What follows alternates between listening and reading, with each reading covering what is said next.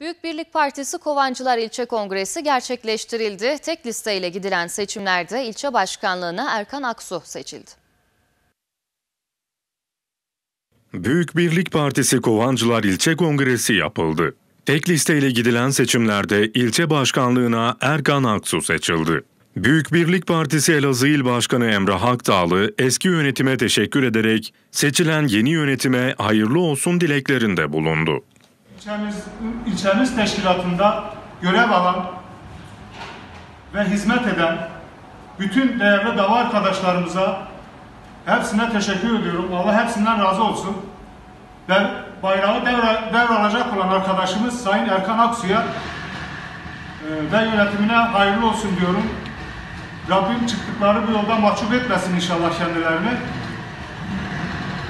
Gerçekten genç ve donanımlı bir e, yönetim oluşturulmuş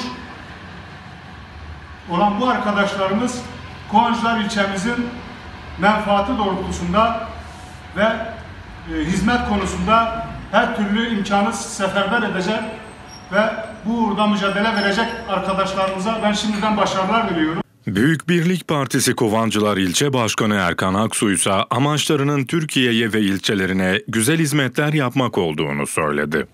Bu aşamada güçlü bir yönetim oluşturup mücadelemizi istikrarlı bir şekilde sürdüreceğiz Allah'ın izniyle.